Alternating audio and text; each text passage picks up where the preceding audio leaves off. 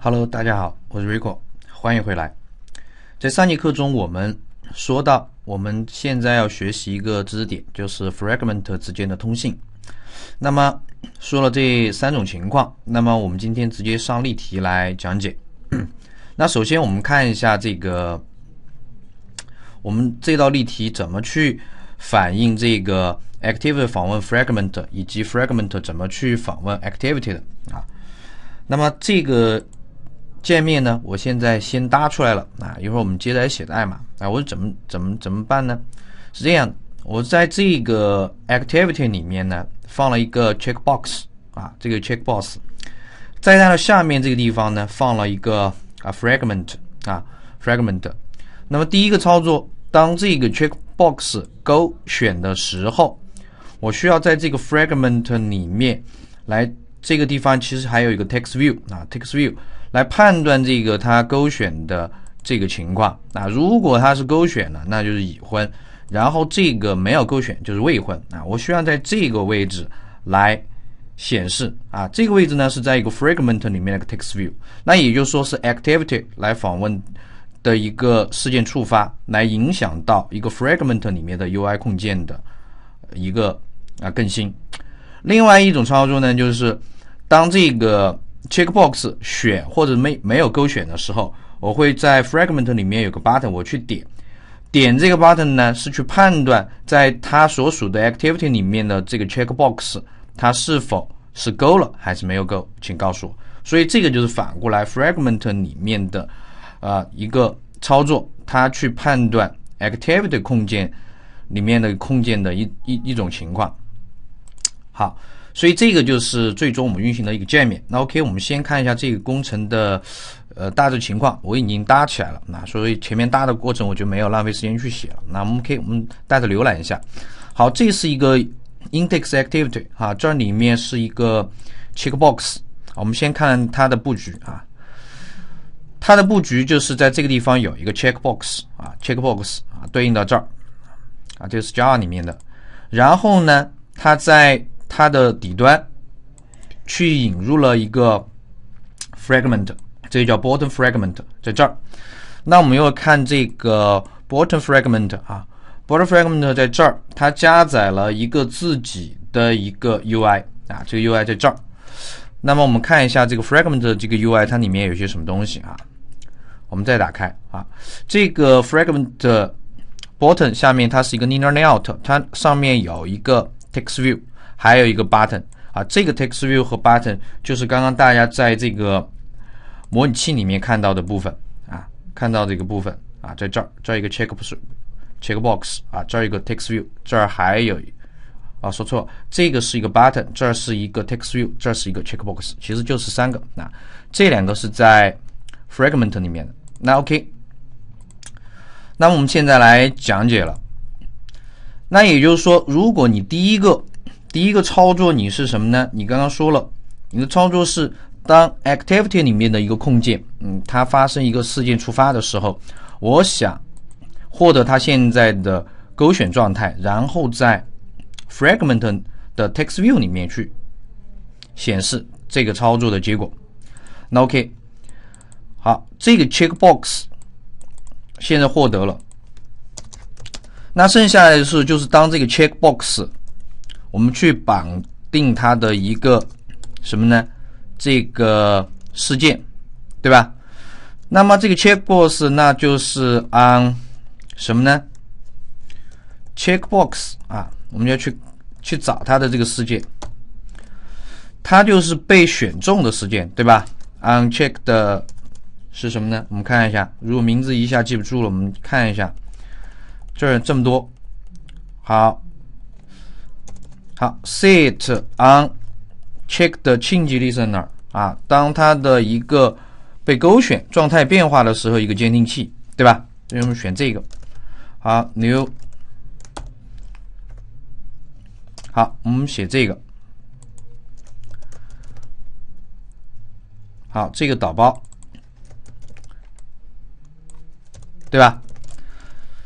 那么。这个状态你来判断一下了。如果它如果这个 checkbox 它是被选中，这是被选中的时候，另外一个是没有被选中的情况，对吧？所以这个你逻辑要自己清楚啊。这个是 checkbox 啊，checkbox 被选中。好，这个另外一个是这个是 checkbox 取消选中。好，OK。在这两种情况下，你都要做一件什么事情呢？你需要去更改这个 fragment 里面的 text view 这里面的值啊。选中的是我要在这里面塞一个字符串，说选中，那就表明已婚；如果没有选中，表明未婚。嗯，那那你就是去要更改 text view 的值。关键是现在你在 activity 里面，你怎么去拿这个 fragment 呢？对吧？好，那 OK，那么我们去在 Activity 里面去操作 Fragment 啊，我们可以通过 Get Fragment Manager 点，这儿有一个 Find Fragment by ID。大家注意一下这个情况，Get Fragment Manager 点 Find Fragment by ID。那么这个可以去什么呢？可以去在一个 activity 里面去获得它所属的 fragment，那这个 ID 是多少呢？你不是在这个地方给了它一个 ID 吗？叫 fragment bottom 吗？对吧？大家注意啊，这个方法它用的是 fragment 这个标签的这种写法。如果是 Java 来溜出来的这个呃。bottom fragment 嘛，它就不是这么取了，因为你那个去溜的话，你直接可以拿到它的引用。那这个我们后面再换一种方式来写。那我们先写这种，这种有标签的，你就可以通过这个来找。好了，那你这个不是就 r 点 id 点这个吗？是不是它？对吧？同时，我们刚刚其实还发现了还有一个方法，你叫什么呢？fragment manager 点 find fragment by tag。通过一个这个标签来获得，那那有同学要问这个标签哪儿来的？这个标签是你在写这个 fragment 这个 xml 元素的时候，你其实去可以自己去定义一个 tag 的。这个 tag 是一个字符串的，你自己去定一个啊。比如说这个，你你去打这个，你看有没有这个属性？你看这是有这个属性的。OK，后面是个字符串。这字符串，比如说我自己写一个吧。比如说叫 fragment，嗯，bottom，嗯，tag，假如写这个，那那 OK，这个好，那这个你也可以通过什么呢？你可以通过 by tag，这个 tag 的名字就是刚刚这个名字，其实你可以通过这个也来可以获得的，啊，所以这个大家要会。在一个 activity 里面，如何去获得它所所属的一些啊所管辖的一些 fragment？所以你这个拿出来是什么呢？你说说白了，其实你这个拿出来就是啊 bottom fragment，对吧？就是它啊，就等于它 get manager 点。OK，有些同学说，哎，这怎么报错呢？因为你这个 find fragment 获得的是一个 fragment 对象，其实你的 bottom fragment 只是 fragment 的子对象，所以你这个还要强转一下，对吧？强转一下，强转一下就拿到它。然后呢，你在写下面的代码的时候，好，你这个如果它不等于空，那你再进行它的操作啊。你进什么呢？你都拿到了 fragment。拿到 fragment，那我怎么去找这个 fragment 所关联的 UI 里面的一个这个值呢？这当然是可以了。调哪个方法呢？啊，我们来看一下。那你现在是不是就想调到那个 text view 嘛？对吧？fragment，然后 get view，然后再来一个 find view by ID，r 点 ID 点，你不是叫 text result 吗？啊。所以这个方法，你看一下，这个方法通过 fragment，你先从 activity 里面拿到它所属的 fragment，fragment 点 get view 或者它的 view 元素，然后再去点 find view by ID，通过一个 ID 再拿到这个。所以这个就返回的是谁呢？就是那个 txt result，就等于它。然后这个地方强转一下 text view，然后把包导。所以这两个是很重要的。好，这个是在 activity 中获得所属的 fragment。好，这是第一步。第二步，这个是 fragment 啊，获取。它的 UI 的控件的方法，你这不就获得了吗？对吧？那说白了，这个其实你拿到的控件，你就是跟这个，当它选中的时候，你给它塞值嘛，塞一个，塞一个值。好，这个叫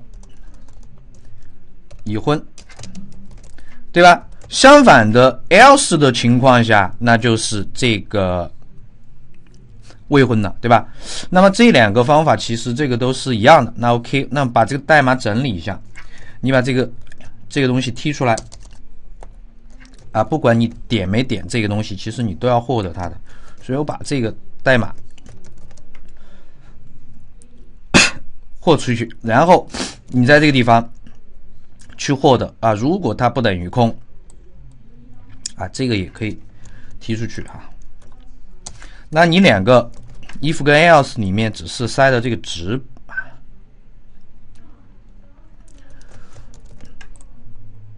啊，就这个等于已婚，然后 OK，这个不能在这儿声明哈，这个不能在这儿声明，那算了吧，这个就多写一下，无所谓，这个这个代码调调整一下也无所谓的。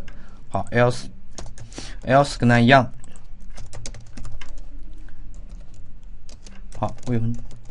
好，所以你这个要学到，在 fragment 里面去获得它 UI 空间。好，这个是通过 tag 的留给你自己来试一试这个 tag 的情况能不能获得它。好，OK，那我们来运行一下。好，这个地方在报错，我们看什么地方？好，检查一下这个地方。OK，这个地方有两个 tag 啊，因为我开始的时候写了一个 tag，刚刚讲课的时候又写了一个，删掉一个，那 OK 了。然后呢，我们来运行这个这道例题的一个结果。我们来看模拟器的。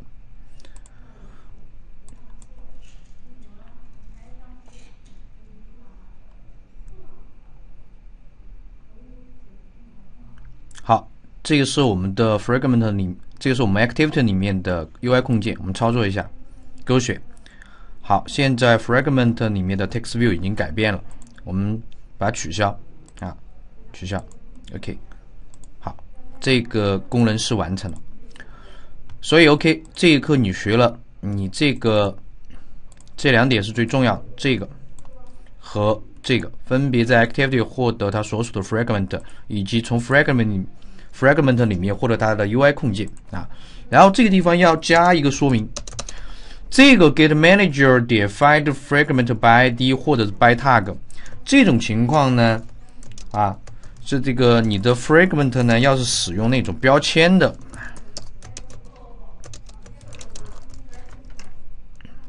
是使用 xmir 的那个 frag。Ment 标签来获得的啊，如果是用 Java 代码动态的构建的 fragment，嗯，这个写法就不不是这么写啊。那那个我们会在后面把它再给大家举个例子来看一下，对吧？好，OK，那么我们下节课接着讲。